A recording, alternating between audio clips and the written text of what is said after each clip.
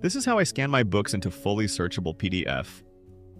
The first part is the scanning, and for this I use the ScanSnap SV600 placed over a Klip Snap book cradle.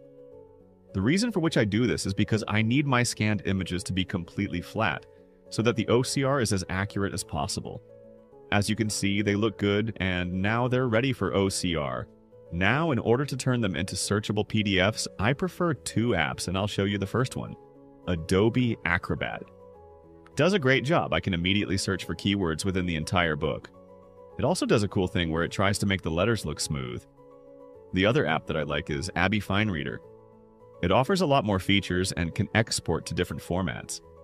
But in terms of OCR, both will do an equally good job.